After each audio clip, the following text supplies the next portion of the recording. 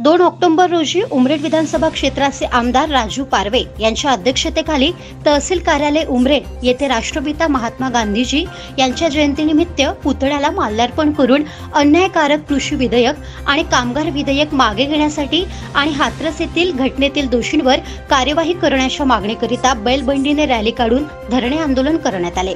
तसेच तहसीलदारांमार्फत माननीय राष्ट्रपती यांना निवेदन देण्यात आले. हे निवेदन देतेवेळी काँग्रेस पक्षाचे अनेक कार्यकारी पदाधिकारी मोठ्या संख्येने उपस्थित होते.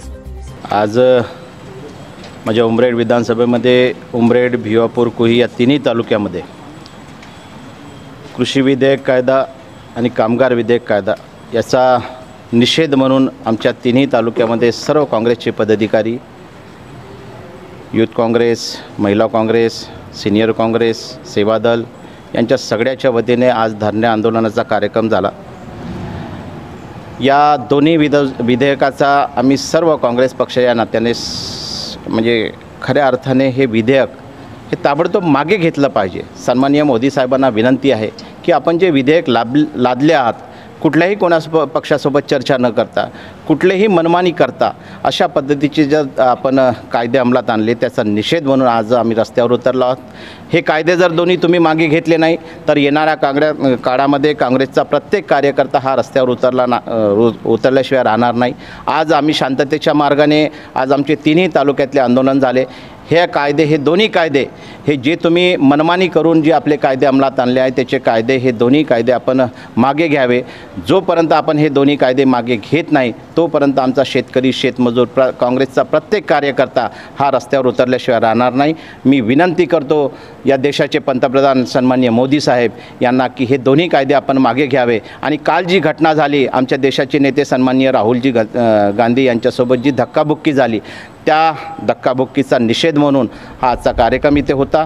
काल जे काही घडलं माझ्या दलित एका बहिणीसोबत जो अत्याचार करून तिच्यावर बलात्कार करून तिचा खून केला आणि रात्रीच्या तीन वाजतामध्ये तिचे प्रेत जाळलं आणि प्रेत असं जाळलं की तिच्या आईवडिलालासुद्धा तिचा शेवटचा चेहरासुद्धा भाग तिला पाहायला मिळाला नाही. अशा पद्धतीचं कृत्य करून आपण देशाला काय सांगतात याचं उत्तर आता देश आणि देशातली जनता आपल्याला मागणार आहे.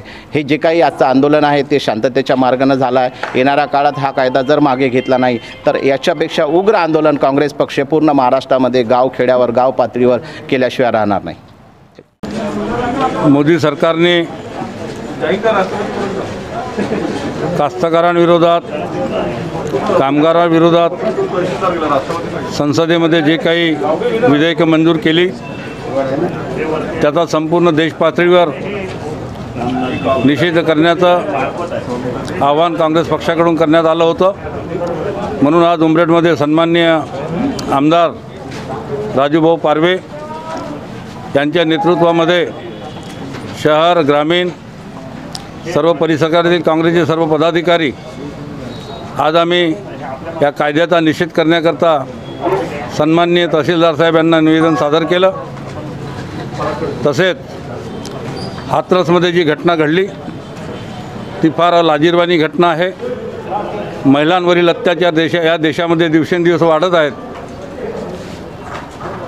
दलितांवरील आदिवासीवरील ओबीसीवरील सर्वच वर्गावरील आणि विशेष करून महिलांवरील जे अत्याचार वाढत आहे त्याचाही निषेध आज आम्ही इथे केला.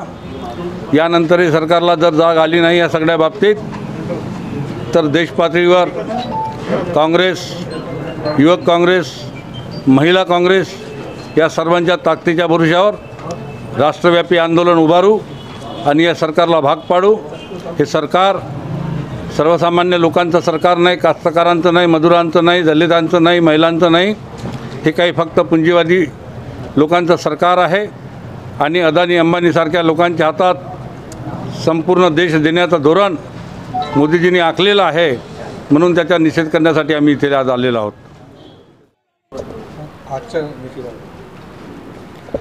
Mahadarpan news bureau report Umred.